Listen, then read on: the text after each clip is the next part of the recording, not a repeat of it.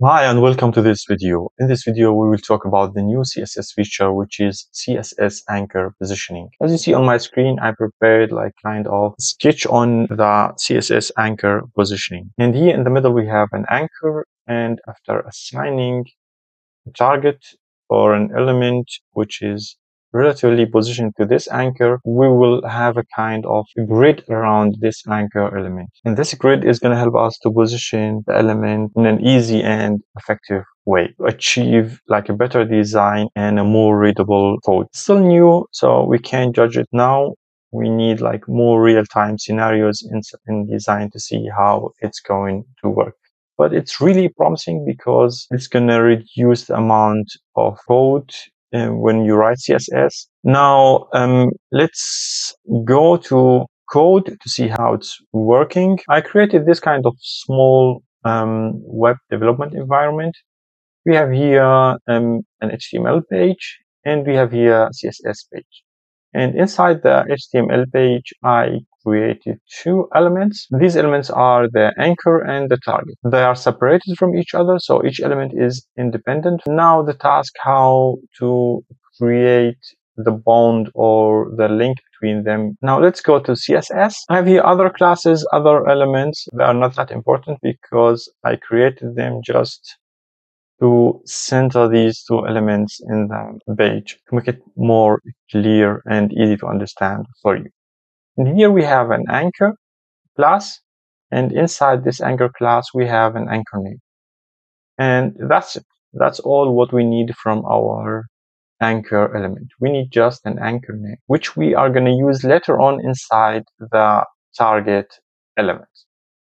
And the anchor name must be dashed so this is the two dashes here at the beginning. It's like when you create a custom CSS attribute, you need to use two dashes. And now let's move to the target. And inside the target, we need to give it a position, absolute or fixed. And then we need to name the anchor or to use the anchor name here with this CSS attribute, which is position anchor.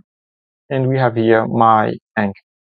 Now let's move to the third um, element, which is position area. And as I showed you already, we are going to use position area to place our element around the anchor. Um, we can change them. We can use like different logical values here inside this element.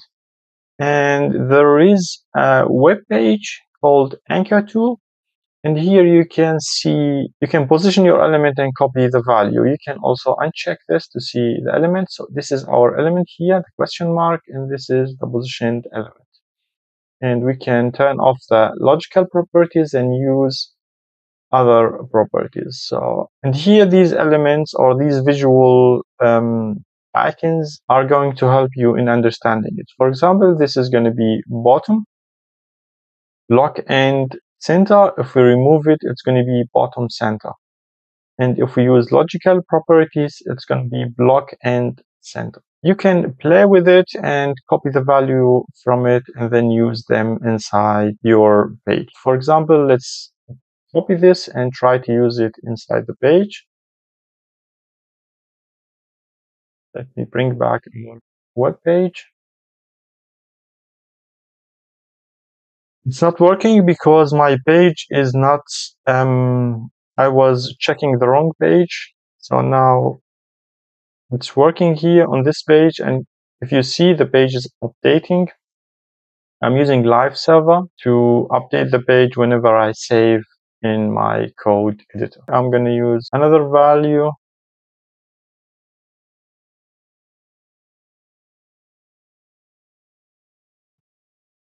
Well, it's working. Our cat is meowing. I don't know what's wrong with her. So it's better maybe to sum up and to summarize, finish the video. Um, yeah, I think it's it's promising, and uh, it's going to help us to develop um, better designs in a better and effective way. Hope you enjoyed the video. If you have any question, please leave a comment and don't forget to like and subscribe.